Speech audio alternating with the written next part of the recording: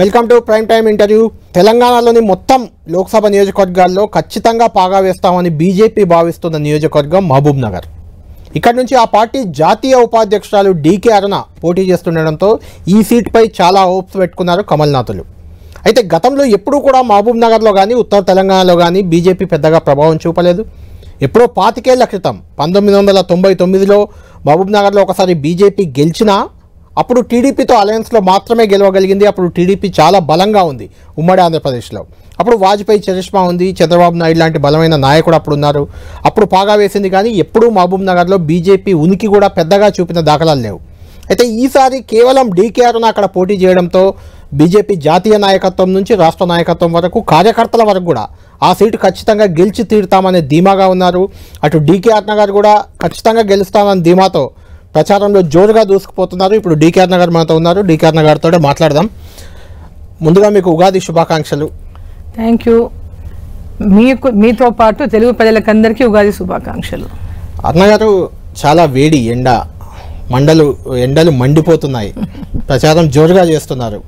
అంటే గెలుస్తామని ధీమా ఎలాగో మీకు కనిపిస్తుంది. జనం నుంచి రెస్పాన్స్ ఎలా వస్తుంది? చాలా బాగుంది. ప్రజల లోపల చాలా మంచి స్పందన ఉంది. మోదీ గారి యొక్క నాయకత్వం పైన కూడా ప్రజల లోపల చాలా విశ్వాసం ఉంది నమ్మకం ఉంది. మోదీ గారు ఈసారి మళ్ళీ ప్రధానమంత్రి కావాలి. ఈసారి ఓటు మటుకు మోదీ గారికి వెయ్యాలనేది గ్రామాల్లో ఎక్కడికి వెళ్ళినా పెద్ద ఎత్తున చర్చ జరుగుతూ ఉంది. మొన్నటి అసెంబ్లీ ఎన్నికల్లో ఏడు నియోజకవర్గాలు మహబూబ్నగర్ పార్లమెంట్లో ఉంటే అందులో ఒక్క దగ్గర కూడా బీజేపీ గెలవలేదు. కేవలం రెండు చోట్ల మాత్రమే రెండో స్థానంలో ఉంది. అంటే ఐదు చోట్ల మూడో స్థానంలో ఉంది. ఎలా నమ్మకం ఎలా? మీరు గెలుస్తానని ధీమా మూడు నాలుగు నెలల్లోనే మారిపోయింది వాతావరణం ఖచ్చితంగా. ఈరోజు మొన్నటి వాతావరణము అసెంబ్లీ వాతావరణం ఏంటంటే వాతావరణం యాక్చువల్గా భారతీయ జనతా పార్టీని తెలంగాణలో ఆల్టే ఆల్టర్నేటివ్ అనేది ప్రజల లోపల చాలా మంచి ఆలో అంటే ఒక నమ్మకం వచ్చిండింది. ఎప్పుడైతే కర్ణాటకలో కాంగ్రెస్ పార్టీ గెలవడం ఆ తర్వాత ఇక్కడ బీఆర్ఎస్ పార్టీ కూడా భారతీయ జనతా పార్టీ బలంగా బలం అంటే బలం పెంచుకుంటా ఉంది. ఎందుకంటే భారతీయ జనతా పార్టీని అనేక పోరాటాలు చేసింది బీఆర్ఎస్కు వ్యతిరేకంగా. వారు చేసినటువంటి హామీల పైన కానీ చెప్పినటువంటి అనేక చేసిన మోసాలు చెప్పిన హామీలు వాటి అయిన పైన పోరాటాలు చేసింది. కాళేశ్వరం పైన కానివ్వండి మిషన్ భగీరథ పైన కానివ్వండి పాలమూరు రంగారెడ్డి కానివ్వండి ఇట్లా అనేక ప్రాజెక్టులు అదేవిధంగా ధరణి మీద కానివ్వండి అనేక పోరాటాలు చేసింది. నిరుద్యోగుల సమస్యలపైన ఉద్యోగుల సమస్యలపైన ఇట్లా ప్రతి ఒక్కరి విషయంలో కూడా అనేక పోరాటాలు చేసి Bharatiya Janata Party BRS party పైన పూర్తి వ్యతిరేకతను ప్రజల లోపల నిర్మాణం చేసింది తెలంగాణ వ్యాప్తంగా. ఎప్పుడైతే కర్ణాటకలో కాంగ్రెస్ గెలిచిందో బీఆర్ఎస్ పార్టీ దాన్ని అదునుగా తీసుకొని పెద్ద ఎత్తున బా- అంటే కాంగ్రెస్ పార్టీని కొంచెం లేపే ప్రయత్నం చేసింది. అంటే కాంగ్రెస్ వచ్చేసింది కర్ణాటకలో వచ్చేసింది కాంగ్రెస్ వైపు ఉన్నారు కాంగ్రెస్ చూస్తున్నారు అనేక మీడియాలో కానీ సోషల్ మీడియా కొంచెం హైప్ క్రియేట్ చేసుకున్నారు. ఆ హైప్ క్రియేట్ చేసుకోవడం వల్ల రోజు రోజుకు కాంగ్రెస్ యొక్క వాతావరణాన్ని పెంచుకుంటూ పోయిండ్రు. దాంతోపాటు ఒక కుట్ర ఏంటంటే బీఆర్ఎస్ బీజేపీ ఒకటి. బీఆర్ఎస్ బీజేపీ ఒకటి అని ఇది ఒక నెరేటివ్ ప్రజల్లోకి తీసుకెళ్ళడంలో వాళ్ళు కొంచెం సక్సెస్ అయినారు. గెలిచిన వెంబడే ఈ ఆరు గ్యారెంటీలు అమలు చేస్తామన్నారు. ఒక ఆర్టీసీ బస్సులో విమెన్కు ఫ్రీ అని చెప్పి అది చేసి అది కూడా సరిగ్గా లేదు ఎక్కడ కూడా. అది కూడా సరిగ్గా ఆర్టీసీ బస్సుల విషయంలో కూడా చాలా వ్యతిరేకత ఉంది గ్రామాల లోపల. ఈరోజు మేము అన్ని చేసేసాం ఇంక అయిపోయింది. ఇంకా ఆర్టీసీ బస్సులో మహిళల్ని ఎక్కించాం మా హామీలన్నీ ఫుల్ఫిల్ అయిపోయినటువంటి ఒక రీతిలో వీళ్ళు కాంగ్రెస్ వాళ్ళు మాట్లాడుతూ ఉన్నారు. ముఖ్యమంత్రి కూడా మాట్లాడుతూ ఉన్నారు. కానీ గ్రౌండ్లో మటుకు ఏ ఒక్కటి ఇంప్లిమెంట్ కాలేదు. రేవంత్ రెడ్డి అన్నది మీరు వినే ఉంటారు. మా పాలనకు రెఫరెండం ఎన్నికలు అంటున్నారు ఆయన.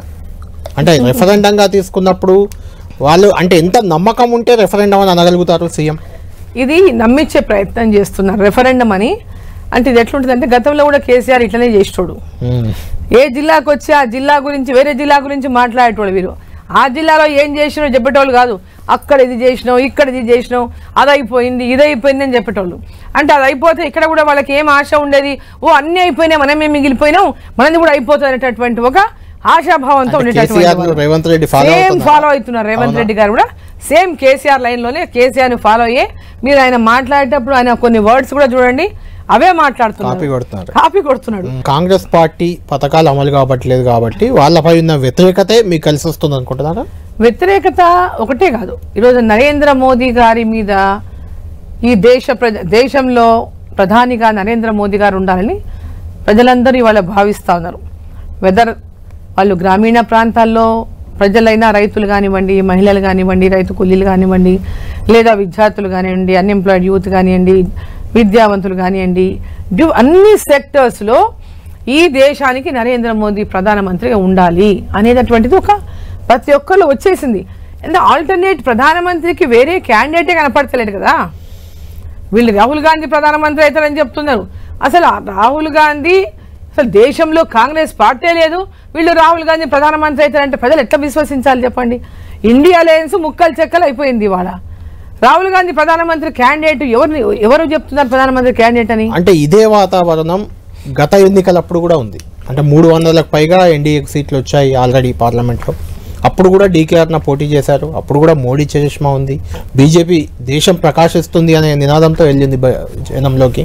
అయినా అప్పుడు డీకేఆర్న గెలవలేదు కదా? ఇప్పుడు ఎలా గెలుస్తారు? అంటే గతంలో భారతీయ జనతా పార్టీ అనేక కార్యక్రమాలు ప్రజల కోసం చేసినప్పటికీ అప్పుడు ఉన్నటువంటి బీఆర్ఎస్ ప్రభుత్వం వాటిని ప్రజల్లోకి తీసుకెళ్ళలేదు ఇది కేంద్ర ప్రభుత్వం పథకాలని ఎప్పుడు కూడా వాటిని ప్రజల్లోకి తీసుకెళ్ళలేదు చాలా వరకు వాటిని అమలు కూడా కానివ్వలేదు.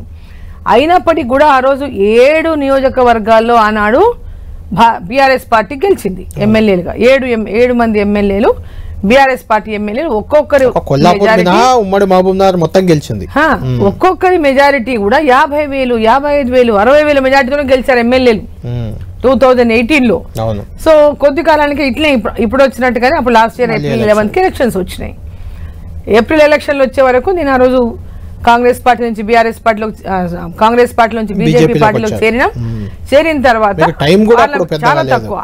అసలు నేను చేరిన మార్చ్ ట్వంటీ కు నేను పార్టీలో చేరిన చేరిన తర్వాత నాకు టికెట్ అనౌన్స్ చేసిన తర్వాత ఫిఫ్టీన్ డేస్ టైమే ఉంది నాకు.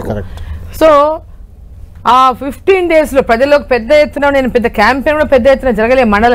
కాన్స్టిట్యున్సీ కాన్స్టిట్యున్సీ వరకు ఒకసారి పోయి వచ్చుంటాను ఉమ్, సో ఆ కొద్ది సమయానికే ప్రజల లోపల మోదీ గారు అప్పటికే సర్జికల్ స్ట్రైక్ మోదీ గారి యొక్క నాయకత్వం పైన ఒక ఇది ఒక క్యాండిడేట్స్ అని కూడా ప్రజలకు పరిచయం ఉన్నటువంటి వ్యక్తిగా ఆ జిల్లాలో ప్రతి ఒక్కరిది ప్రతి ఒక్క నియోజకవర్గాలకు జిల్లా మంత్రిగా చేసినటువంటి అనేక అభివృద్ధి కార్యక్రమాలు అయితేనే వాటందరి వాటన్నిటి యొక్క దీంతో ఆ రోజు ప్రజలంతా కూడా విశ్వసించి మరి మోదీ గారు ఓ పక్క నేను ఓ పక్క ఇద్దరిని కూడా క్యాండిడేట్ పరంగా కానీ పార్టీ పరంగా కానీ ఆ రోజు మూడు లక్షల ముప్పై మూడు వేల ఓట్లు వచ్చినాయి విత్ ఇన్ షార్ట్ టైం అవును. సో ఆ ఎన్నికల్లో అంత బలంగా ఉన్నటువంటి బీఆర్ఎస్ పార్టీ అప్పుడు చాలా స్ట్రాంగ్ ఉంది బీఆర్ఎస్ పార్టీ. దాదాపు వంద సీట్లు తొంభై ఏడు సీట్లు గెలిచింది అప్పుడు అసెంబ్లీలో. ఎనభై ఎనిమిది సీట్లు వీళ్ళ పొత్తులు గిత్తులు అన్ని కలిపి దాదాపు వంద. దాదాపు వంద కదా వీళ్ళంతా కలిసి. సో ఆ రోజు అటువంటి గట్టిగా ఉన్నట్టు అంత స్ట్రాంగ్గా ఉన్న టైం టైంలోనే మేము అన్ని ఓటు తెచ్చుకోగలిగినాం మహబూబ్ నగర్లో. సో మహబూబ్ నగర్లో మహబూబ్ నగర్ కానీ నారాయణపేట కానీ మక్తల్ కానీ అర్బన్ ఏరియాస్ అంతా కూడా భారతీయ జనతా పార్టీకి బలం ఉంది. అక్కడ సరే ఇప్పటిదాకా అధికారంలోకి పార్టీ రాలేదు. ఆ లీడర్షిప్ సరిగ్గా అంటే వాళ్ళు స్ట్రాంగ్ కాలేకపోయినారో అది వేరే విషయం. బట్ ఎప్పుడైతే నరేంద్ర మోదీ గారు దేశంలో ప్రధానిగా మంత్రి కావాలని అనుకుంటున్నారో ఇక్కడ జిల్లా వ్యాప్తంగా ప్రతి గ్రామంలో కూడా డి కరుణను గుర్తించని వారటువంటి వాళ్ళు లేరు. డి కరుణ గురించి తెలియని వారు లేరు. ప్రతి వాళ్ళు ఏ పార్టీ వ్యక్తులైనా ప్రతి ఒక్కరికి డి కరుణ పరిచయం. సో ఆ పరిచయంతోనే పోయినసారి ఆ రిజల్ట్ వచ్చింది. ఈసారి ఈసారి మీరు అడిగినారు ఆరు మంది ఏడు మంది వాళ్ళు గెలిచారు కానీ ఈసారి ఏడు మంది వాళ్ళు కాంగ్రెస్ ఎమ్మెల్యేలు గెలిచినప్పటికీ కూడా వాళ్ళు గెలిచింది కూడా మెజార్టీ చాలా తక్కువ తక్కువ మెజార్టీలు ఒకటి కొత్త ఎమ్మెల్యే బీఆర్ఎస్ పైన వ్యతిరేకతతో వీళ్ళు గెలిచినారు. ఉన్న వాళ్ళు కూడా అంత కొత్త ఎమ్మెల్యేలే అంత దాదాపు బీఆర్ వీళ్ళందరూ కూడా ఒకప్పుడు నేను అదే అడగబోతున్నాను. వీళ్ళంతా కొత్త ఎమ్మెల్యేలు వీళ్ళంతా డీకే అరుణ గారికి సన్నిహితులు. వీళ్ళంతా డీకే అరుణ గారు మంత్రిగా ఉన్నప్పుడు నాయకులుగా కాంగ్రెస్ పార్టీలో ఎదిగిన వాళ్ళు. అంటే డీకే అరుణ గారు అప్పుడు అంటే గత ఎన్నికల్లో రెండవ స్థానం మూడు లక్షలకు పైగా ఓట్లు రావడానికైనా ఇప్పుడు గెలుపుపై ధీమాగా ఉండడానికైనా కారణం బీజేపీ కాదు కాంగ్రెస్ నాయకులు కాంగ్రెస్ కార్యకర్తలు అంటే మీరేమంటారు? హండ్రెడ్ పర్సెంట్ హండ్రెడ్ పర్సెంట్ అక్కడ నరేంద్ర మోదీ గారి యొక్క వేవు కరిష్మా ప్రతి దగ్గర కూడా గ్రామ గ్రామాన ప్రతి ఒక్కరికి ఇవాళ నరేంద్ర మోదీ గారికి ఓటేయాలనేటటువంటి ఆకాంక్ష ఉంది. దానితో పాటు డీకే అరుణ అరే పోయినసారి గెలిచేది ఉండే మిస్ అయిపోయింది తను తక్కువ ఓట్లతో ఓడిపోయింది. ఈసారి ఖచ్చితంగా డీకే అరుణని గెలిపించుకోవాలి. మోదీ గారు ప్రధానమంత్రి అవుతారు. ఇక్కడ డీకే అరుణ గారు గెలిస్తే జిల్లా అభివృద్ధి అవుతున్నటువంటి ఆకాంక్ష అదే కాంగ్రెస్. కార్యకర్తల్లో కూడా ఉందా కాంగ్రెస్ కార్యకర్తల్లో కాంగ్రెస్ ఎమ్మెల్యేల్లో. కాంగ్రెస్ ఈ పార్టీలకు అతీతంగా ప్రజలు నరేంద్ర మోదీ గారి నాయకత్వాన్ని కోరుకుంటున్నారు.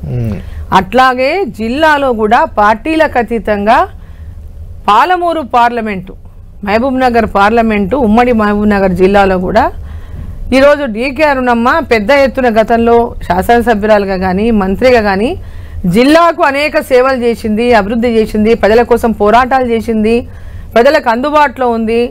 జిల్లా వ్యాప్తంగా ఉమ్మడి జిల్లా వ్యాప్తంగా సాగునీరును అందించడానికి పోరాటాలు చేసింది సాగునీరు అందించింది. విద్యుత్ పరంగా కూడా లో వోల్టేజ్ సమస్యను పరిష్కరించడానికి పోరాటాలు చేసింది సమస్యను పరిష్కారం చేసింది అనేక సబ్స్టేషన్ల నిర్మాణం కానీ ఇప్పుడు నెట్టెంపాడు కల్బకుర్తి భీమా ప్రాజెక్టుల నిర్మాణం కానివ్వండి.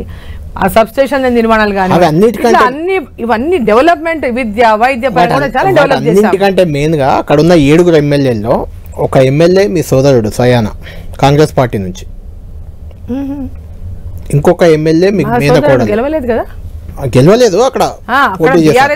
పోటీ చేశారు. బీఆర్ఎస్ నుంచి పోటీ చేశారు. అభ్యర్థిగా మొన్న ఓడిపోయారు.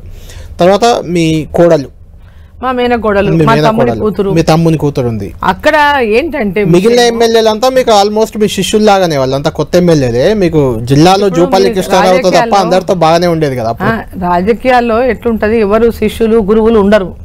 అవకాశాలు ఇచ్చారు చాలా ఇచ్చినా కూడా అందరు దానికి వాళ్ళు ఎవరైనా కూడా అవకాశాలు ఇచ్చిండొచ్చు. కానీ మాకు ఎవరికి వాళ్ళకు వాళ్ళ మీద నమ్మకం వాళ్ళకు ఉంటుంది. నేను ఇచ్చినా నేను అనుకోవడం లేదు.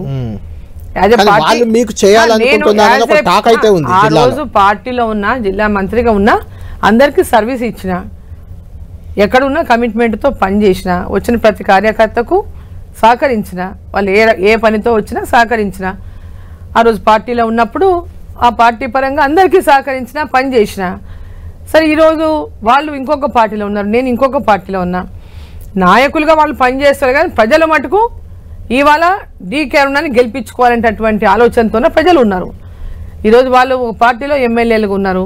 వాళ్ళకి ఒక పార్టీలో ఉండి ఇంకో పార్టీలో చేయడం అనేది అంత అంత సులువు కాదు. ఊహించుకుంటాము. ఇప్పుడు చెప్పినట్టుగానే ఎట్లుంటది? మా తమ్ముని బిడ్డకి అరుణ్ డీకే అరుణ చేసిందని ప్రచారం చేస్తున్నారు.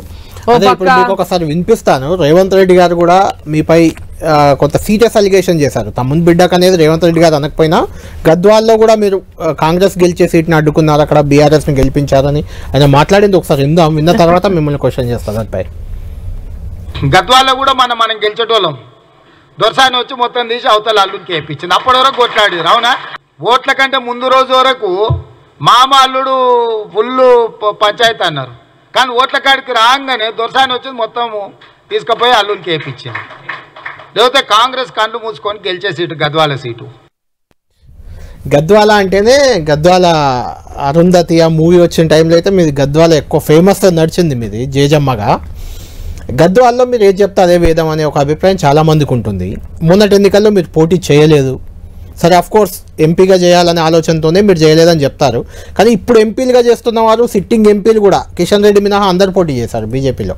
ఎమ్మెల్యేలుగా అందరు ఓడిపోయారు అనుకోండి అది. అయితే మీరు పోటీ చేయకపోవడానికి అక్కడ మీ కుటుంబ సభ్యుడు మీ అల్లుడే కదా కృష్ణమోహన్ రెడ్డిని గెలిపించడానికి అని రేవంత్ రెడ్డి గారు కామెంట్ చేశారు. అందులోనే ఒక వర్డ్ వాడారు దొరసాని అనే వర్డ్. దానిపై మీరు తీవ్ర అభ్యంతరం వ్యక్తం చేశారు క్షమాపణ కూడా అడిగారు. ఎందుకు అంతగా రియాక్ట్ అయ్యారెడ్డి ఇంతకుముందే మనం విన్నాం? మళ్ళీ ఒకసారి విందాం ఆయన ఏమన్నారు. గద్వాల్లో కూడా మనం మనం గెలిచేటోళ్ళం. దొరసాని వచ్చి మొత్తం తీసి అవతల అల్లుడికి వేయించింది. అప్పటి వరకు కొట్లాడారు అవునా? ఓట్ల కంటే ముందు రోజు వరకు మామ అల్లుడు ఫుల్ పంచాయతీ అన్నారు. కానీ ఓట్ల కాడికి రాగానే దొరసాని వచ్చి మొత్తం తీసుకుపోయి అల్లుడికి వేయించింది లేకపోతే కాంగ్రెస్ కండ్లు మూసుకొని గెలిచే seat Gadwal seat. Right. DK Nagar దాని మీద మీరు చాలా సీరియస్గా రియాక్ట్ అయ్యారు. అందుకే మళ్ళీ వినిపించాను. ఏంటి అంటే రేవంత్ రెడ్డి అన్న మాటల్లో మీకు అబ్జెక్షన్ ఏంది క్షమాపణ చెప్పాలని కూడా డిమాండ్ చేశారు. దొరసాని అనే వర్డ్ సరైంది కాదు. ఫస్ట్ ఒక ముఖ్యమంత్రి తన స్థాయిని మంచి మాట్లాడడం సమంజసం కాదు. ఒకే మహిళను మాట్లాడేటప్పుడు సంస్కారవంతంగా వారి పేరును తీసుకోవాల్సినటువంటి అవసరం ఉంటుంది. ఆయన దొరసాని అనే మాట్లాడడం అనేది ఒక మహిళను గౌరవించేటటువంటి పద్ధతి కాదు. ఓకే. మేము దొరలం కాదు దొరసానులం కాదు. నేను ఒక మామూలు ఒక వ్యవసాయ కుటుంబంకి వెళ్ళి వచ్చినటువంటి తండ్రి నా తండ్రి నా తండ్రి సరే రాజకీయాల్లో సర్పంచ్ దగ్గర నుంచి రాజకీయాల్లో పల్లె ప్రజలకు సేవ చేసి పైకి అది వేరే విషయం. కానీ మేము మామూలు ఒక వ్యవసాయ కుటుంబం మాది. ఓ రైతు కుటుంబం. చెప్తుంటారు కానీ గద్వాల అనగానే అది గద్వాల అనేది ఒక సంస్థానం గద్వాల సంస్థానము ఆ సంస్థానంలో ఈ కాన్స్టిట్యున్సీ సంస్థానం ఆ సంస్థానంలో వాళ్ళు ఇప్పుడు ఎవరు అక్కడ ఉండటం కూడా లేదు. ఆ సంస్థానం అనే దానికి వీళ్ళందరూ ఏదేదో ఊహించుకుంటుంటారు నేనేమో ఆ సంస్థానానికి వెళ్ళి నేనే. వచ్చిందేమో అని వీళ్ళందరూ అనుకుంటుంటారు. సో ప్రజల తరఫున అంత పెద్ద ఎత్తున. పోరాటాలు చేసి ప్రజల లోపల అభిమానాన్ని సంపాదించుకొని అక్కడ ఒక బంగ్లా అనే దానికి మా మామగారు డికే సత్యారెడ్డి గారు ఉన్నప్పటి నుంచి దానికి బంగ్లా డికే సత్యారెడ్డి గారి బంగ్లా అనేటటువంటి పేరుంది. ఆ బంగ్ బంగ్ బంగ్లా బంగ్లా బంగ్లా అంటారు దాన్ని. ఎవరన్నా వస్తే ఇక్కడే భోజనాలు చేసి నైట్ లేట్ అయితే ఇక్కడే పడుకునేవాళ్ళు. పొద్దున్న లేచి వెళ్ళిపోయేటటువంటి వాళ్ళు. మీ కుటుంబ సభ్యులే ఎక్కువ మంది ఉన్నారు అక్కడ. నా మక్తల్లో మీ సోదరుడు కానీ ఓడిపోయారు అనుకోండి తర్వాత నారాయణపేట మీ మే కోడలు మీ మేనల్లుడు గద్వాల ఇక్కడ మీరు మొత్తం జిల్లా మొత్తం విస్తరించున్నట్టుగా అనిపిస్తుంది. అంటే మీ డీకేఆర్ ఫ్యామిలీ అయితే ఏ పార్టీలో ఉన్నా వాళ్ళకు డీకేఆర్ సహకరిస్తారు డీకేఆర్ సహకారంతోనే వాళ్ళు రాజకీయం చేస్తారు గెలుస్తుంటారు. ఈ విమర్శ ఇక్కడ కూడా వచ్చింది. రేవంత్ రెడ్డి గారు కూడా అన్నారు. రాజకీయాల్లో పాపులారిటీ ఉన్న లీడర్ పేరు ఉపయోగించుకోవడం అనేది వెరీ సమ అది చాలా కామన్ కామన్ అది. ఇప్పుడు రాజకీయాలు ఇప్పుడు నేను ఉన్నాను అనుకోండి ఇప్పుడు ఎవరు వాళ్ళని ఎవరిని అన్నారు ఫలానా వాళ్ళ కోడలు ఫలానా వాళ్ళ తమ్ముడు ఫలానా వాళ్ళ అల్లుడు. అంటారు. ఎందుకంటే బికాస్ నేను పబ్లిక్ లైఫ్లో అందరికీ పరిచయం ఉన్నటువంటి వ్యక్తిగా. సో పాపులర్గా అందరు గుర్తించేటటువంటి వ్యక్తిగా నా పేరు తీసుకొని మన గురించి మాట్లాడతారు. ఇక్కడ? రేవంత్ రెడ్డి గారు. కాంగ్రెస్ పార్టీలో ఓడగొట్టి అంటారు కాంగ్రెస్ పార్టీని ఆయన శక్తి ఉంటే వాళ్ళ శక్తి పిసిసి అధ్యక్షుడు గెలిపించుకోవాలా. ఆయన ఏమన్నాడు? బంగ్లాల పునాదులు కదిలిస్తా అన్నాడు. బంగ్లాల రాజకీయాలు ఖతం చేస్తా అన్నాడు. మరి అటువంటి అంత పెద్ద పెద్ద మాటలు మాట్లాడిన ఆయన మరి ఈరోజు మళ్ళీ డీకరణమ్మ గురించి అంత పెద్దగా చెప్పి తనని తను తగ్గించుకుంటున్నాడు కదా. మీ వల్లే ఓడిపోయింది కాంగ్రెస్ చెప్తున్నాడు కదా. ఇది దిస్ ఇస్ అల్టిమేట్గా ప్రజలు ఏదైనా ఎన్నికల్లో తీర్పు ఇచ్చేది ప్రజలు వ్యక్తులు కాదు. ప్రజలు తీర్పిస్తారు. ఆ ప్రజల యొక్క తీర్పుకు అందరూ శిరసా వహించాల్సిందే. అక్కడ మక్తల్ నారాయణపేటలో మా కోడలు గెలిచింది. మన ఆమె కాంగ్రెస్ నుంచి గెలిచింది. చాలా మంది డీ కరుణ గెలిపించింది. డీ కరుణ గెలిపించింది కూడా అంటున్నారు. ఆమె కూడా ఇప్పుడు మీకు ఆమె గురించి మాట్లాడలేదు. కాంగ్రెస్ గెలిచింది. అంటే కాంగ్రెస్ని డీకే ఉన్న కాంగ్రెస్ పార్టీలో ఉన్న వాళ్ళని గెలిపించడానికి రాజకీయాలు చేస్తుందా ఇక్కడ. ఎందుకు? అంటే ఒకటి డీకేఆర్ నగర్ డీకేఆర్ నగర్కి రాజకీయంగా జిల్లాలో ఎవరితో కూడా సఖ్యత ఉండదు. ఎందుకు ఉండదు అంటారు అంటే మీకు ఉండదా? వారు మీతో ఉండదా? ఎందుకంటే రేవంత్ రెడ్డితో కూడా నాకు బాగా గుర్తు. మీరు ఎమ్మెల్యేగా ఉన్నప్పుడు అతను కూడా ఎమ్మెల్యే అనుకుంటా అప్పుడు తర్వాత జూపల్లి కృష్ణారావుతో అయితే మీకు అసలు అది అదొక కొల్లాపూర్ సంస్థానం ఆయనది గద్వాల సంస్థానం మీద అనే రకంగా యుద్ధమే ఆడ. మీ ఇద్దరి మధ్య యుద్ధమే. కట్ చేస్తే ఇప్పుడు ఈ జితేందర్ రెడ్డితో కూడా. ఇద్దరికి టికెట్ కోసం చాలా పోటీ జరిగింది. జితేందర్ రెడ్డి మిమ్మల్ని తట్టుకోలేక పార్టీ మారాల్సి వచ్చింది. టికెట్ రాలేదు. ఆయన సిట్టింగ్ గతంలో నైన్టీ నైన్లో ఎంపీ ఆయన బీజేపీ ఎంపీఏ ఆయనకు టికెట్ రాలేదు. డీకేఆర్ నగర్కి వచ్చింది. ఎందుకు ఇలా ఫైట్ చేస్తుంటారు మీరు నాయకులందరితో? నేను ఎవరితో ఫైట్ చేయను. వాళ్ళు ఏంటంటే ప్రజల లోపల ఉండరు. ప్రజల మధ్యలో ఎల్లవెల్లలా ప్రజల మధ్యలో ఉండి ప్రజలకు అందుబాటులో ఉండి నేను ప్రజలతో మమేకమై పనిచేస్తా. సో నా ఎదుగుదలను చూసి వీళ్ళు ఎవరు డైజెస్ట్ చేసుకోలేకపోతున్నారు. ఫస్ట్ నుంచి కూడా. నేను నైన్టీ నైన్లో టికెట్ ఇచ్చారు. మా భర్త అప్పుడు ఎమ్మెల్యేగా ఉన్నారు. కాంగ్రెస్ పార్టీలోకి రమ్మని ఆహ్వానించారు. ఆహ్వానించిన తర్వాత రాజశేఖర రెడ్డి గారు ఉన్నారు అప్పుడు. వారు రమ్మని ఆహ్వానించి డి అరుణకు టికెట్ ఇస్తానన్నారు. నైన్టీ సిక్స్లో నేను పార్లమెంట్ పోటీ చేశా. నైన్టీన్ నైన్టీ సిక్స్లో ఫస్ట్ టైం నేను పాలిటిక్స్లోకి వచ్చిందే పార్లమెంట్. పార్లమెంట్లో పోటీ చేశా డైరెక్ట్గా. ఆనాడు పార్లమెంట్కు నేను ఐదు వేలతో ఓడిపోయా. ఓడిపోయిన తర్వాత నేను చాలా పోరాటాలు చేశా. ప్రాజెక్ట్ చంద్రబాబు నాయుడుకి ముఖ్యమంత్రి అయ్యారు అప్పుడు. ఆ కరువులతో అల్లాడిపోతా ఉన్నారు జిల్లా. వర్షాలు ఉండేది కాదు తీవ్రమైనటువంటి కరువులతో ఉండేది ప్రాంతం. సో ఆ టైంలో రాజశేఖర రెడ్డి గారిని తెలంగాణ జోక్యం చేసుకోవద్దని చెప్పారు. అప్పుడు ఉద్దేశపూర్వకంగా నా టికెట్ టీఆర్ఎస్ కేటాయించారు మా ఫాదర్ మా ఫాదర్ మక్తల్ నుంచి నేను గద్వాల నుంచి. సో అప్పుడు నేను ఇండిపెండెంట్ పోటీ చేశా. ఇండిపెండెంట్ పోటీ చేసి అంతే రాజశేఖర రెడ్డి గారి తర్వాత కూడా మా జిల్లాలో చాలా పెద్ద majority. Thirty eight thousand six hundred and thirty six ఓట్లతో గెలిచాను నేను అప్పుడు ఇండిపెండెంట్గా ఇది చాలా మందికి తెలియదు. ఏదో మాట్లాడుతూ ఉంటారు మాట్లాడే వాళ్ళు. తర్వాత నేను గెలిచిన తర్వాత వాటి గురించి పట్టుబట్టి అవన్నీ సాధించుకున్నాం. జిల్లాకి ప్రాజెక్టులు చేసుకున్నాం నీళ్ళు ఇచ్చుకున్నాం అంతా అయింది. జైపాల్ రెడ్డి కానీ జూపాలి కృష్ణారావు కానీ ఇప్పుడు ముఖ్యమంత్రి రేవంత్ రెడ్డి కానీ వీళ్ళంతా చాలా ఒక రేంజ్ ఒక అగ్రెసివ్ పొలిటీషియన్స్ వీళ్ళంతా కూడా అంటే జైపాల్ రెడ్డి పక్కన పెడితే జూపల్లి రకరకాల ఉద్యమాలు రేవంత్ రెడ్డి కూడా అగ్రెసివ్గా మాట్లాడతారు. ఇలాంటి వాళ్ళని ధీటుగా ఎదుర్కోవడానికి డీకే అర్ణకి ధైర్యం ఏంటి? వాళ్ళని ఎలా ఎదుర్కొన్నారు? రేవంత్ రెడ్డి గారు ఏ పోరాటాలు చేయలేదు. జూపల్లి కృష్ణారావు గారు తెలంగాణ ఉద్యమంలో తెలంగాణ గొడవ ఉద్యమంలో కూడా అప్పుడే మీకు గొడవ అయింది అప్పుడే. తెలంగాణ ఉద్యమంలో తను కాంగ్రెస్ పార్టీలో ఉండి తెలంగాణ ఏదో పాదయాత్ర చేశారు. అది నా కాన్స్టిట్యున్సీలో పాదయాత్ర చేస్తారు నేను దాన్ని. అడ్డుకున్నాను. ఒక పార్టీలో ఉండి మీరు నా నియోజకవర్గంలో వచ్చి ఇక్కడ మేమేదో పోరాటం చేయనట్టు మీరు ఒకరే చేసినట్టు మాకేమో తెలంగాణ వద్దన్నట్టు మీరు ఒకరే కావాలన్నట్టు ఇది కరెక్ట్ కాదని చెప్పేసి నేను అప్పుడు అడ్డుకోవడం జరిగింది. అంటే మా నియోజకవర్గంలో మీరు చేయాల్సిన అవసరం లేదు మేము చేస్తున్నాం పోరాటాలని చెప్పి ఆ రోజు వారిని అడ్డుకోవటం రేవంత్ జరిగింది. రెడ్డిని కూడా డిఆర్సీ సమావేశంలో చాలా సీరియస్ గానే ఆ వాగ్వాదం జరిగింది. డిఆర్సీ సమావేశంలో కూడా ఏమైందంటే కొడంగల్లో వారు ఎమ్మెల్యే అప్పుడు. రేవంత్ రెడ్డి కొడంగల్ ఎమ్మెల్యే. నేను జిల్లా మంత్రిగా మంత్రిగా ఉన్నాను నేను. మంత్రిగా ఉన్నప్పుడు అక్కడ కొన్ని డెవలప్మెంట్ ప్రోగ్రామ్స్కి వెళ్ళాం కొడంగల్కి. అక్కడ కొన్ని రోడ్లు కొన్ని సబ్ స్టేషన్లు వాటి యొక్క ప్రాజెక్ట్ వాటిని ప్రారంభోత్సవము కొన్ని పునాది కొన్ని శంకుస్థాపనలకు వెళ్ళాం. వెళ్ళినప్పుడు ఎమ్మెల్యేగా అక్కడ లోకల్ ఎమ్మెల్యేగా వారికి కూడా ఇంటిమేట్ చేసి వెళ్ళాం. వచ్చాడు ఒక ప్రోగ్రామ్కి వచ్చాడు. ఒక ఎలక్ట్రికల్ సబ్ స్టేషన్ ప్రోగ్రామ్కి వచ్చాడు. ఆ తర్వాత ఇంకొకటి ప్రోగ్రాంలు ఉంటే ఒక ప్రోగ్రామ్ దగ్గర మేము అక్కడ నుంచి పోయి వెయిట్ చేస్తూ ఉంటే రోడ్డు అది రోడ్డుకి రోడ్డు వేస్తూ ఉన్నారు ఆ గ్రామంలో. ఆ రోడ్డుకు ఫౌండేషన్ స్టోన్ వేస్తుంటే అక్కడికి వెళ్ళాము. అక్కడికి వెళ్తే చాలాసేపు వెయిట్ చేసాం రాలేదు. రాకపోతే వీళ్ళు ఫోన్ చేసి అడుగుతా ఉన్నారు అధికారులు కానీ వాంటెళ్ళి డిలే డిలే చేస్తున్నాడు ఆయన. కావాలని ఆలస్యం చేస్తున్నాడు. చేస్తుంటే కొద్దిసేపు అక్కడికి వెయిట్ చేశాను. నాకు ఎవరితో తగవ పెట్టుకోవాలని ఉండదు. స్పెషల్లీ ఆన్ డెవలప్మెంట్ కలిసి పని చేస్తే డెవలప్ అవుతుంది అనేటటువంటిది నా ఆలోచన. సో ఆ రోజు తను ఇంకా ఉద్దేశపూర్వకంగా లేట్ చేస్తున్నట్టుగా అర్థమైపోయింది. అయిపోయినాక సరే అని చెప్పేసి మేము దాన్ని టెంకాయ కొట్టేసి దాన్ని స్టార్ట్ చేసి వెళ్ళిపోయినాం. వెళ్ళిపోయిన తర్వాత వీళ్ళు వచ్చి ఆ దిమ్మ బాల కొట్టేసి అక్కడంతా గొడవ చేస్తారు మేము వెళ్ళిపోయిన తర్వాత. అక్కడ పోలీసులు ఆ దిమ్మ బాల కొట్టిన వాళ్ళని కొంచెం చెదరగొట్టినారు. ఆ తర్వాత నెక్స్ట్ వన్ టూ డేస్లోనే డిఆర్సీ మీటింగ్ అయింది. ఆ డిఆర్సీ మీటింగ్కి ఆ చెదరగొట్టినప్పుడు ఎవరికో ఎవరికి మోకాలు కొంచెం దెబ్బ తగిలిందా? నిజంగా ఆయన కొడితే తగిలిందా లేదా కూడా తెలియదు అది జస్ట్ క్రియేషన్ చేశారు. తీసుకొచ్చి డిఆర్సీ మీటింగ్లకు ఆయన పట్టుకొని వచ్చేసినాడు లోపలికి. అప్పుడు గొడవ అయింది అది పర్సనల్ గొడవలు ఏమీ లేవు. అది కంటిన్యూ అయిందా రాజకీయంగా? గొడవ ఎప్పుడూ లేదు ఇంకా. అంతే సరే ఆ రోజు గొడవ అయింది ఆ తర్వాత వాళ్ళ పార్టీ వాళ్ళు వాళ్ళు టీడీపీలో ఉన్నారు. నేను కాంగ్రెస్లో ఉన్నా. ఎవరి పార్టీ వారిదే ఎవరి కోసం వాళ్ళ పోరాటం వాళ్ళదే ప్రతిపక్ష పార్టీగా. మేము రూలింగ్లో ఉన్నాం కాబట్టి మా అభివృద్ధి విషయంలో మా ఏం చేసే పనులు మేము చేస్తాం. అంటే డికేఆర్ గారు ఒక స్టేజీలో పిసిసి అధ్యక్ష పదవి రేస్లో మీరు ఉన్నారు తెలంగాణ కాంగ్రెస్ కమిటీ అధ్యక్షురాలిగా డికేఆర్ అవుతారు అని ఒక సమయంలో అనిపి అట్లా చర్చ కూడా చాలా పెద్ద ఎత్తున జరిగింది. కాంగ్రెస్లో అంత ఇమేజ్ అంత గుర్తింపు తెచ్చుకున్న డీకేఆర్న ఎందుకు రెండు వేల పద్దెనిమిది అసెంబ్లీ ఎన్నికల్లో కాంగ్రెస్ అభ్యర్థిగా ఓడిపోగానే బీజేపీలో చేరిపోయారు? అక్కడ నేను ఓడిపోవడానికి కూడా కాంగ్రెస్ వాళ్ళు చాలా పెద్ద ఎత్తున కుట్రలు చేశారు. అవన్నీ నాకు అన్ని అంటే సాక్ష్యాలు చెప్పాల్సిన అవసరం కూడా లేదనుకోండి.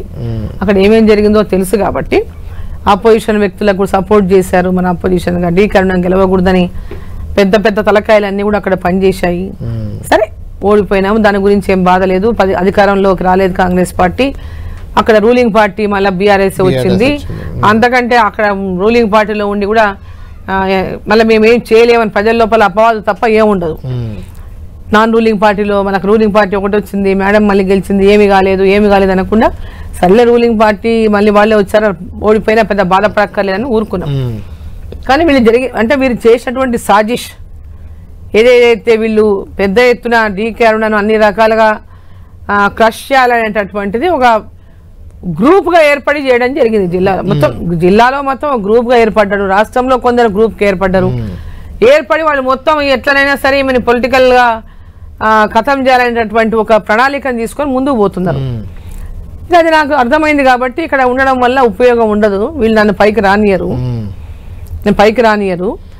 ఇక వీళ్ళు క్రష్ చేసేది చేశాడన్నప్పుడు నేను భారతీయ జనతా పార్టీ వాళ్ళు ఆహ్వానించినారు పార్టీలోకి. ఆహ్వానించినప్పుడు ఇక నేను అప్పుడు అనుకున్నాను ఆహ్వానించిండ్రు మోదీ గారు చాలా బాగా పనిచేస్తున్నారు. నేను ఇక్కడకుండి ఇంతగానో వీళ్ళతో ఫైట్ చేసే కంటే వాళ్ళు నాకు గుర్తింపు ఇచ్చినప్పుడు అక్కడ నేను జాతీయ దేశం కోసమన్నా పని చేస్తాను నరేంద్ర మోదీ గారి నాయకత్వంలో ఉన్నటువంటి ఒక ఆలోచనతోన ఒక డిసిషన్ తీసుకున్నాం. నేను ఎవరితో మాట్లాడలేదు ఓన్లీ మా ఫ్యామిలీ మెంబర్స్తో మాట్లాడి నేను నిర్ణయం తీసుకున్నా. తెలుసు ఎవరిని అడిగినా బీజేపీ లేదు ఎందుకు పోతావు అంటారు ఫస్ట్ కాబట్టి ఆ డిస్కషన్కి తావివ్వకుండా నేను డిస్ నేను ఒక డిసిషన్ తీసుకున్నా. సరే ఎంతైనా రేపు అయితే ఒక ఎమ్మెల్యే అవుతాను. రాజకీయాల్లో ఉంటానో ఉండను రేపు ఎవరెవరు ఎలాంటి కుట్రలు ఇంకా భవిష్యత్తులో చేస్తారో తెలియదు. అప్పటికే మేము చెప్పిన వాళ్ళకి ఎవరికి టికెట్లు ఇవ్వకుండా రకరకాలుగా ఇబ్బందులు పెట్టి లాస్ట్ డే నామినేషన్లకు రోజు టికెట్లు అనౌన్స్ చేసి చాలా చాలా న్యూసెన్స్ చేశారు. మ్మ్. సరే ఇంకా ఎంతకాలం ఈ రచ్చబడాలి ఇక్కడ మనం అని చెప్పేసి. ఆలోచనతోనే వాళ్ళు మరి బీజేపీ ఆ ప్రాధాన్యత నన్ను గుర్తించి మరి నన్ను ఆహ్వానిస్తున్నప్పుడు అక్కడికి వెళ్ళి నేను కనీసం దేశం కోసం అన్న పనిచేద్దాం రాజకీయాలు భవిష్యత్తులో గెలిచినా గెలవకున్నా నేను పనిచేయాల స- నాకు సేవ చేయాలనేటటువంటి ఒక లక్ష్యంతోనే పనిచేసిన రైట్ అయితే దీనిపై కాంగ్రెస్ అభ్యర్థి వంశీచంద్ర రెడ్డి మాత్రం తీవ్రమైన కామెంట్ చేస్తున్నారు. కాంగ్రెస్ పార్టీ నుంచి పార్లమెంట్ ఎన్నికల్లో పోటీ చేయడానికి ఎన్నికల్లో అంటే అసెంబ్లీ ఎన్నికల నుంచి మీరు పార్లమెంట్ ఎన్నికల్లోపే పార్టీ మారారు. అయితే పార్లమెంట్లో కూడా మహబూబ్ నగర్ నుంచి మిమ్మల్ని పోటీ చేయమని కాంగ్రెస్ పార్టీ అడిగింది. అడిగితే పదిహేను కోట్లు ఎన్నికల ఖర్చుకు మీరు ఇవ్వాలని డిమాండ్ చేశారు. అది ఇవ్వకపోవడం వల్లే మీరు బీజేపీలోకి వెళ్ళారు. ఇది ఇప్పుడు మీపై పోటీ చేస్తున్న కాంగ్రెస్ అభ్యర్థి. గతంలో కూడా గత ఎన్నికల్లో కూడా ఆయనే పోటీ చేశారు. వంశీ చంద్రరెడ్డి చేస్తున్న ఆరోపణ. మరి అప్పుడెందుకు చేయలేదు ఆరోపణ? గతంలో కూడా ఆయన్నే పోటీ చేశాడు కదా. మరి ఆరోపణ అప్పుడెందుకు చేయలేదు? ఆ ఆరోపణ ఇప్పుడెందుకు కొత్తగా తీసుకొచ్చారు? అంటే దాంట్లోనే వాళ్ళ యొక్క అంటే ఏ విధమైనటువంటి మైండ్ సెట్ ఉందో ఎట్లాంటి అబద్ధాలతోనే ప్రజల్ని నమ్మించాలని ప్రయత్నం చేస్తున్నారో దీంట్లోనే స్పష్టమవుతుంది ఒకటి. ఇంకొకటి ఇప్పుడు ఆయన డబ్బులు లేకుండా పోటీ చేస్తాడా? ఇప్పుడు ఎన్నికల్లో పార్టీతో ఆయన డబ్బులు పార్టీ పార్టీలో డబ్బులు ఏం లేకుండా ఎన్నికల్లో పోటీ చేస్తాడా? ఖచ్చితంగా ఇవ్వాల్సిందే. కానీ పదిహేను కోట్లు అనేది అసలు అసలు నేను పోటీ చేస్తా అన్నప్పుడు కదా డబ్బు ముచ్చట. కాంగ్రెస్ పార్టీలో నేను పోటీ చేస్తా అని నేను అడిగినప్పుడు కదా ముచ్చట. మరి పోయిన ఎలక్షన్లలో వీళ్ళు ఎందుకు దాని గురించి మాట్లాడలేదు అని అడుగుతున్నా. ఇది కేవలం ఏదో డీకే అరుణని డీఫేమ్ చెయ్యాలా డీకే అరుణని డీఫేమ్ చేస్తే నేను నాకు ఫేమ్ అయిపో నేను ఫేమ్ అయిపోతా. ఎందుకంటే ఆమెతో పెట్టుకుంటేనే నన్ను మీడియాలో చూపిస్తారు నన్ను ప్రజలకు మొహం కనిపిస్తా ఎందుకంటే ఐదేళ్ళు పరారైపోయిండు. పోటీ చేసినాక తిరిగి మొహం చూడలే మామూనార్ పార్లమెంటు. ప్రజలకి ఈయన ఎవరో కూడా తెలియదు ప్రజలకి ఆయన ఎవరో కూడా తెలియదు ఈరోజు ఏదో ఒక రకంగా తన మొహాన్ని పరిచయం చేసుకోవాలి కదా ప్రజల లోపల డీ కరుణ మీద జిల్లాలో చాలా అంటే ఒక విశ్వాసము క్రెడిబిలిటీ ఉన్నటువంటి నాయకురాలు. ఏ విధంగానైనా ఆమె ఆమె పైన ఒక డ్యామేజ్ చేసే విధంగా ఆమె డ్యామేజ్ చేయాలనే ఒక లక్ష్యంతో మాట్లాడిన మాటలు తప్ప పచ్చి అబద్ధాలు తప్ప ఆ అబ్బాయికి నిజం మాట్లాడడం రానే రాదు. రైట్ ప్రతిపక్షంలో ఉన్నన్నాళ్ళు పాలమూరు ప్రాజెక్టుల కోసం లేకుంటే పాలమూరులో నీటి సౌకర్యాల కోసం. డీకేఆర్ నగర్ చాలా పెద్ద ఎత్తున పోరాటం చేశారు. అధికారంలోకి రాగానే పాలమూరుకు నష్టం చేసేలా నిర్మించిన పోతిరెడ్డి పాడుకి వెళ్ళి మంగళహారతులు పట్టారు అనేది మీపై ప్రధానంగా వచ్చే ఆరోపణ. అసలు పోతిరెడ్డి పాడుకు నాకు నాకు సంబంధం ఏందో ఇప్పటికి అర్థం కాదు. ఇదంతా పొలిటికల్గా విన్నారా ఆరోపణ తెలంగాణ ఉద్యమం నుంచి కేసీఆర్. మాట్లాడే మాట గదొకటి. డీకరుణని ఏమన్నా లేక అది పోతిరెడ్డి పాడు పోతిరెడ్డి పోతిరెడ్డి పాడుకు నాకు ఏం సంబంధం? ఉమ్, నేను ఇరిగేషన్ శాఖ మంత్రినా ఆవాడ నేను ఒక ఎమ్మెల్యేని. నేను ఇండిపెండెంట్ ఎమ్మెల్యేని. వీళ్ళు చేసిన ఆరోపణలో ఎలాంటి నిజం లేదు. కేవలం సెంటిమెంట్ మాట్లాడి ప్రజల్ని నమ్మించే ప్రయత్నం తప్పితే వాళ్ళు చెప్పిన మాటలో ఒక్క నిజం కూడా లేదు. ఒక్క నిజం ఒకటంటే ఒక నిజం లేదు. సో కేవలం డీకే అరుణ మీద ఎంతసేపు స్ట్రాంగ్గా మాట్లాడుతుంది ఉన్నది ఉన్నట్టు మాట్లాడుతుంది. చెప్పిన మాటను గట్టిగా ప్ర ప్రజల పక్షాన్ని ప్రశ్నిస్తుంది. కాబట్టి ఆమెను ఏ రకంగానైనా నీరుగార్చాలి. ఆమె మాట ఆమె ఏ రకంగా ఆమె ఆమె మీద ఒక ఆరోపణలు చేయాలంటటువంటి ఒక కత్తి కట్టుకొని మాట్లాడే మాటలు తప్పితే నా మీద వాళ్ళు ఎలాంటి ఆరోపణలు చేయలేరు. నన్ను ఎక్కడ కూడా వాళ్ళు ఇంత అంటే మచ్చలేనటువంటి నన్ను ఏదో రకంగా బురద చల్లి ఏదో మరకయ్యాలంటటువంటి ప్రయత్నాలు తప్పితే దాంట్లో వాళ్ళు చేసిన దాంట్లో ఎలాంటి వాస్తవమే లేదు. డీకేఆర్ నగర్ మీద ప్రధానంగా వచ్చే ఆరోపణ ఏంటంటే ఈ మధ్య ఏదో మైనింగ్ దానికి సంబంధించి కూడా మీపై కొంత ఫైన్ వేసినట్టున్నారు అది. అట్లా మైనింగ్ స్కామ్ ఆరోపణలు కూడా మీ పైన గతంలో చేశారు. లాస్ట్ టైం నేను ఎమ్మెల్యేగా తెలంగాణ రాష్ట్రం ఏర్పడిన తర్వాత ఎమ్మెల్యే గెలిచిన ఫస్ట్ టైం తెలంగాణ సపరేట్ స్టేట్లో నేను గద్వాల్ నుంచి ఎమ్మెల్యేగా two thousand fourteen to eighteen nineteen ముందే ఎలక్షన్లు వచ్చాయి కాబట్టి ఎయిటీన్ వరకు ఉన్నా. ఆ సమయంలో నా మీద అంటే నా మీద అంటే నా కూతురు పేరు మీద మైన్ ఉంది. నా భర్తకు క్రషర్ ఉంది. సో అక్కడ మైన్ ఏం మైన్ అది అదేమన్నా గ్రానైట్ మైనా? లేకపోతే ఇంకేమో చాలా మైన్స్ ఉంటాయి. మాకు ఆ మైన్స్ గురించి నాకు అంత పెద్ద ఐడియా కూడా లేదు. మా దగ్గర మైన్లు లేవు మాకు తెలియవు వాటి గురించి. ఆడ రోడ్లకు వేసేటటువంటి కంకర. మైన్ అంటే ఏం మైన్ అది? మ్మ్. రోడ్లకు వాడుకునే కంకర. ఆ కంకర జూరాల ప్రాజెక్ట్ కట్టినప్పటి నుంచి గదేమైనే. అప్పటి నుంచి జూరాల ప్రాజెక్ట్ కట్టక ముందు నుంచి అందరికీ ఇచ్చేది గదేమైనే. కేవలం కుట్ర కక్ష అంటే నా మీద కక్ష వేధింపుల కోసం కక్ష సాధింపుల కోసం కేసేసిండ్రు ఓకే. కక్ష సాధింపుల కేసేసి డీకే అరుణను బీఆర్ఎస్లోకి తీసుకోవాలని ప్రయత్నం చేసిండ్రు. మేము ఇంకా గట్టిగా మీరు ఏమైనా చేసుకోండి జైలుకు కూడా? జైలుకు పోనీకి కూడా సిద్ధం. మేము ఇటువంటి వాటికి ఇల్లు కావని చెప్పేసి ఎట్టి పరిస్థితులు అటువైపు అడిగారా ఇబ్బందులు పెట్టి తర్వాత అడిగారు. మీ స్నేహితురాళ్ళు అంతా వస్తలేదని చెప్పాను. సవితా ఇంద్రారెడ్డి సునీత లక్ష్మారెడ్డి కొండా. సురేఖ ఈవెన్ వీళ్ళంతా మీరు మంత్రులుగా కూడా కలిసి పనిచేశారు. అంతా వెళ్ళిపోయారు. ఒక డీకేఆర్ మాత్రమే వెళ్ళలేదు ఎందుకు బీఆర్ఎస్ వెళ్ళలేదు. నాకు పోవాలనిపించలేదు. నాకు అక్కడికి వెళ్ళాలనిపించలేదు. కాబట్టి వెళ్ళలేదు. నాకు అక్కడ పార్టీలు ఎప్పుడు కూడా టీఆర్ఎస్ ఎప్పుడు నేను నాకు నైన్టీ నైన్లో నాకు టికెట్ టూ థౌజండ్ ఫోర్లో. టీఆర్ఎస్ అలయన్స్లో కూడా నన్ను రమ్మని అడిగారు. అలయన్స్ టీఆర్ఎస్లో తీసుకొని నిలబడమని చెప్పాను నేను నిలబడను ఇండిపెండెంట్ గానే చేస్తానని చెప్పి ఇండిపెండెంట్గా పోటీ చేశాను ఓకే డీకే అరుణ గారు జాతీయ ఉపాధ్యక్షురాలిగా ఉన్నారు. పదేళ్ళుగా బీజేపీ అధికారంలో ఉంది కేంద్రంలో. అయినా తెలంగాణకు ఏమీ చేయలేకపోయారు. ముఖ్యంగా మహబూబ్ నగర్ జిల్లాకి ఏం చేయలేదు. అసలే పాలమూరు రంగారెడ్డికి జాతీయ హోదా ఎందుకు తేలేదు? అని చాలా డిమా విమర్శలు మీ మీద వస్తున్నాయి. రేవంత్ రెడ్డి గారు కూడా ఇదే అంశాన్ని మిమ్మల్ని క్వశ్చన్ చేశారు. ఆయన ఏమన్నారో? ఒకసారి చూద్దాం. ఇవాళ అన్నమ్మ బయలుదేరింది. నేను బీజేపీ జాతీయ ఉపాధ్యక్షురాలను.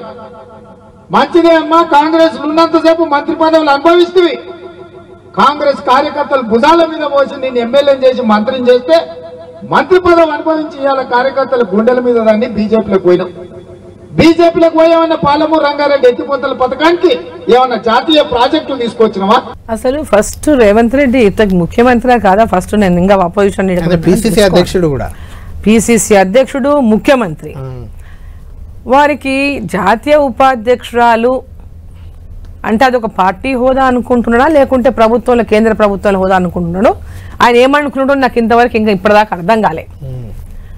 ఇంకొకటి పాలమూరు రంగారెడ్డికి జాతీయ హోదా గురించి వీళ్ళు మాట్లాడుతున్నారు. పాలమూరు రంగారెడ్డి ప్రాజెక్టుకు బీజం వేసిందే డీకే అరుణ. రేవంత్ రెడ్డి కాదు. అలా పక్కన నిలబడిన వాళ్ళు ఎవరు కాదు. దానికి బీజం వేసిందే డీకే అరుణ. ఆ రోజు రిటైర్డ్ ఇంజనీర్స్ ఫోరం అంతా కూడా నేను మంత్రిగా ఉన్నప్పుడు ఈ ప్రాజెక్టులన్నీ కూడా పూర్తయితే మహబూబ్నగర్లో సగభాగం అవుతుంది. పాలమూరు రంగారెడ్డి ప్రాజెక్టు కనుక మనం టేకప్ చేస్తే ఇప్పుడు పాలమూరు ఏదైతే పార్లమెంట్ ఉందో మహబూబ్నగర్ పార్లమెంట్ ఉందో ఆ పార్లమెంట్లో ఉన్న మక్తల్ నారాయణపేట్ కొడంగల్ షాద్ నగర్ దేవరకద్ర జడ్చర్ల మహబూబ్ నగర్ ఈ ప్రాంతంతో పాటు కొంత పరిగి రంగారెడ్డి జిల్లా కొంత నల్గొండ జిల్లా ఇవన్నీ ఇరిగేట్ కావాలంటే ఈ పాలమూరు రంగారెడ్డితోనే సాధ్యం. ఆ మిగిలిన ప్రాంతం అంతా కూడా సస్యశ్యామలం అవుతుంది అనేటటువంటి ఒక ఆలోచనతోన ఆనాడు రిటైర్డ్ ఇంజనీర్స్ ఫోరం అంతా ఒక రిపోర్ట్ ప్రాజెక్ట్ రిపోర్ట్ తయారు చేసి ఇచ్చినారు. ఆ ప్రాజెక్ట్ రిపోర్టుని ఎట్టి పరిస్థితిలో మీరు అప్రూవల్ తీసుకోండి. మళ్ళీ తెలంగాణ రేపు విభజన జరిగితే ఈ నీళ్ళ పోరాటాలు వస్తాయి మళ్ళీ రెండు రాష్ట్రాల మధ్యలో. అప్పుడు పాలమూరు రంగారెడ్డి టేకప్ చేయడం నీళ్ళు ఎక్కడ ఉన్నాయని అంటారు మీకు ఇబ్బంది అవుతుంది. ముందే దీన్ని అట్లీస్ట్ సర్వే కోసమన్నా మీరు ఇమ్మీడియట్గా జీవో ఇప్పించండి లేకుంటే ఇబ్బంది పడతామని చెప్పారు. కిరణ్ కుమార్ రెడ్డి గారు ముఖ్యమంత్రి అన్నాడు. తెలంగాణ పెద్ద మొత్తం విభజన జరుగుతు పెద్ద నడుస్తుంది మనకి ఒక పెద్ద డిస్కషన్ నడుస్తుంది. తెలంగాణ ఏర్పాటు అవుతుందని ఒక రకంగా అంటే డివైడ్ అయిపోయాం ఆంధ్ర నాయకులం తెలంగాణ నాయకులం. ఆ టైంలో నేను గట్టిగా పట్టుబట్టి ఖచ్చితంగా పాలమూరు రంగారెడ్డి మీరు సర్వేకు జీవో శాంక్షన్ ఇవ్వండి. జీవో ఇవ్వండి. ఇది నా ప్రాంతం కోసం ఇది చేసినటువంటి ఎంతో పోరాటం చేసినాము. ఇది ఒకటి మీరు చేయాలని చెప్పి పట్టుబడితే అది పాలమూరు రంగారెడ్డికి జీవో ఇచ్చినారు. సర్వే కోసం జీవో ఇచ్చినారు. అది లేకపోతే ఈరోజు పాలమూరు రంగారెడ్డి లేదు. ఆ రోజు రేవంత్ రెడ్డి ఎక్కడా? ఎక్కడున్నారు రేవంత్ రెడ్డి గారు? మరి అప్పుడే ఎప్పుడైతే విభజన చట్టంలో మరి పోలవరం పెట్టిండ్రో మరి పాలమూరు రంగారెడ్డి ఎందుకు పెట్టలేదు? నన్ను ఎందుకు తప్పు పడుతున్నారు మీరు ఎంపీగా గెలిస్తే చేస్తారా? పాలమూరు నేను నేను చెప్పాను నేను ఏం చెప్పానంటే కొడంగల్కి వెళ్ళినప్పుడు కూడా ఇక్కడ కొల కొడంగల్ ప్రజలందరూ కూడా యాక్చువల్గా రేవంత్ రెడ్డి గారు కొడంగల్ నేటివ్ గారు అవును. సరే ఇప్పుడు మార్చుకొని ఓటు మార్చుకొని అది వేరే విషయం అనుకోండి. ఆయన వాస్తవంగా అచ్చంపేటలో వారి కాన్స్టిట్యున్సీ వస్తుంది మా సొంతూరు. సరే గతంలో వచ్చారు అసెంబ్లీకి గెలిచారు రెండుసార్లు ప్రజలు ఆశీర్వదించారు తర్వాత మొన్న మూడోసారి మళ్ళీ ఆశీర్వదించారు ముఖ్యమంత్రి అయ్యాడు. కానీ అదే అడుగుదాం అనుకుంటున్నా. కొడంగల్ ఆయన సొంతం కాదు అచ్చంపేట నియోజకవర్గం ఆయనది. మీది కూడా గద్వాల నియోజకవర్గానికి వస్తుంది మీది. ఆయన లోకల్ కాదు నేను లోకల్ అనేది ఒక నినాదం ఎత్తుకున్నారు ఈ మధ్య. నేను ఏంటి అది? అందుకే చాలా మందికి తెలియదు నేను లోకలా నాన్ లోకల్ అనేది. అంటే మీ వాళ్ళు ఇక్కడ మీ. అత్తింటు అత్తిల్లు అక్కడ గద్వాల ఈరోజు ఆడబిడ్డ. ఆడబిడ్డ వాళ్ళ ఆడబిడ్డలు ఈ రోజు రేపు సర్నేమ్ కూడా మార్చుకోవడం లేదు. గుర్తుపెట్టుకోవాలి? అవును, వైఎస్ షర్మిల కల్వకుంట్ల కవిత ఉన్నారు కదా వాళ్ళు మన ముందే. పుట్టిల్లు అయినా అత్తిల్లు అయినా ఎక్కడైనా వాళ్ళకి హక్కు ఉన్నది. అవును. ఆడబిడ్డకి ఎక్కడైనా హక్కు ఉన్నది. నా నేను పుట్టింది ధనవాడలో. నేను ధనవాడ నా పుట్టినిల్లు నారాయణపేట నియోజకవర్గం ఒకప్పుడు మక్తల్ నియోజకవర్గం ఇదంతా కూడా. అవును. సరే మక్తల్ రెండు నియోజకవర్గాలే డివైడ్ అని ఒకప్పుడు పాలమూరు పార్లమెంటులోనే గద్వాల అసెంబ్లీ ఉంది. అవును. నేను పోటీ చేశాను ఒకసారి. గద్వాల అసెంబ్లీకి. టూ థౌజండ్ నైన్టీన్ నైన్ కంటే నైన్టీ ముందు- ఉంది. దాని తర్వాత ఉద్దేశపూర్వకంగానే ఇప్పుడు ఇక మన ఇన్ని- ఇది వచ్చినప్పుడు నేను కూడా చెప్పాల్సి వస్తుంది. జైపాల్ రెడ్డి గారు ఇంకా కొంతమంది సీనియర్లు ఉన్నారు. జగన్నాథ్ మన జనార్దన్ రెడ్డి గారు కూడా దీంట్లో. నాగం జనార్దన్ రెడ్డి గారు. ఇంకా కొంతమంది పెద్ద నాయకులు అంతా కూడా దాంట్లో కలిసి మహబూబ్ నగర్ పార్లమెంట్ నుంచి ఈ యొక్క గద్వాల. అలంపుని సపరేట్ చేయాలి. వీళ్ళ ప్రభావం ఎక్కువ ఉన్నది ఎందుకంటే తండ్రి కూతుళ్ళది ఒకటే నియోజకవర్గం అయ్యే వరకు వీళ్ళ ప్రభావం ఉంది ఇక్కడ పొలిటికల్గా నేను ఒక ఇంట్లో పుట్టిన అత్తగారింటికి పోయినా కూడా ఒక పొలిటికల్ ఫ్యామిలీకి వెళ్ళిన. వీళ్ళ నుంచి వాళ్ళకి రాజకీయం రాలేదు వాళ్ళ నుంచి వీళ్ళకి రాజకీయం రాలేదు. ఎవరి రాజకీయం వాళ్ళకే ఉన్నది. సో ఎట్టి పరిస్థితుల్లో కూడా ఈమెని రాజకీయంగా ఎదగనియకూడదని అప్పటి నుంచే కుట్రలు పని వీళ్ళు. రేవంత్ రెడ్డి ఈరోజు వాళ్ళు కేవలము కేవలము డీకే అరుణని ఎక్కడ కూడా ప్రజల లోపల ఉన్నటువంటి ఆ యొక్క నా మీద ప్రజలకు ఉన్నటువంటి విశ్వాసమే కావచ్చు డీకే అరుణ ప్రజల కోసం పనిచేసినటువంటి ఒక నమ్మకమే కావచ్చు ఇవన్నీ చూసి డైజెస్ట్ చేసుకోలేక నేను ఒకటి అడిగిన రేవంత్ రెడ్డి గారిని పాలమూరు రంగారెడ్డి ఎస్ నీ కమిట్మెంట్ ఉంది కదా? పాలమూరు రంగారెడ్డి చేస్తానంటున్నావు కదా? ఎస్ చేద్దాం. నువ్వు అక్కడ ముఖ్యమంత్రిగా ఆల్రెడీ ఉన్నావు నువ్వు.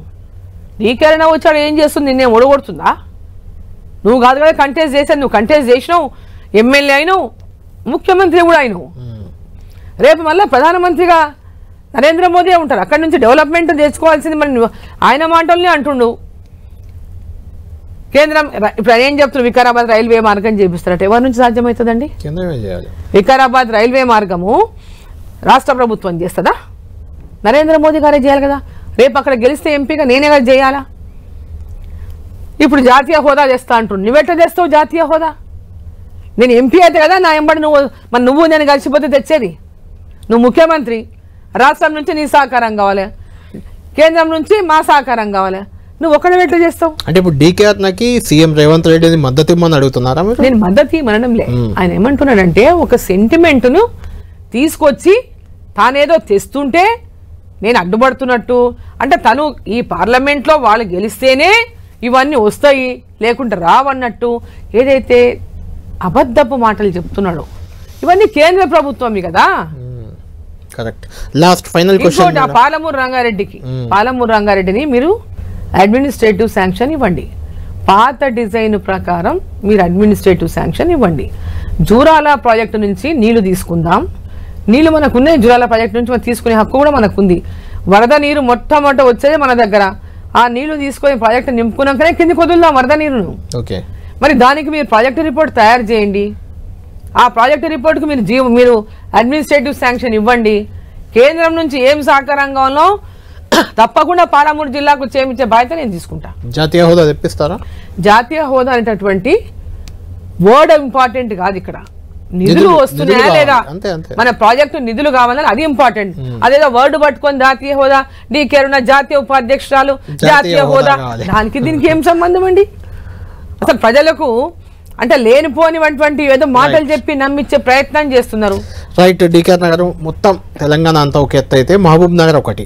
ఇక్కడ అభ్యర్థికి డీకేఆర్ నగర్ మధ్య కంటే పోటీ ముఖ్యమంత్రి రేవంత్ రెడ్డికి కాంగ్రెస్ నుంచి జాతీయ ఉపాధ్యక్షురాలు డీకే అన్నకి మధ్య పోటీలాగా ఉంది. ఈ మధ్య ఇక్కడ రేవంత్ రెడ్డి గారు మాట్లాడుతూ నన్ను ఇక్కడ ఓడించి నా బలాన్ని తగ్గించే కుట్ర జరుగుతుంది. బీజేపీ బీఆర్ఎస్ రెండు కలిసి చేస్తున్నాయన్నారు. ఇక్కడ కూడా ఏమన్నా అలయన్స్ అయ్యారా? మొన్నటిదాకా అదే ఏడుపు ఏడ్చిండ్రు. మ్మ్. ఈ- అదే ఏడుపు ఏడ్చి ఏడ్చి ఏడ్చి ఏడ్చి అధికారంలో కూడా వచ్చారు కదా. బీఆర్ఎస్ బీజేపీ ఒకటి బీఆర్ఎస్ బీజేపీ ఒకటి అని. అసలు వాళ్ళిద్దరు ఒకటి. దొంగ నాటకాలు ఆడుతున్నది వాళ్ళు. అధికారంలోకి వచ్చినావు. ముఖ్యమంత్రిగా ఉన్నావు.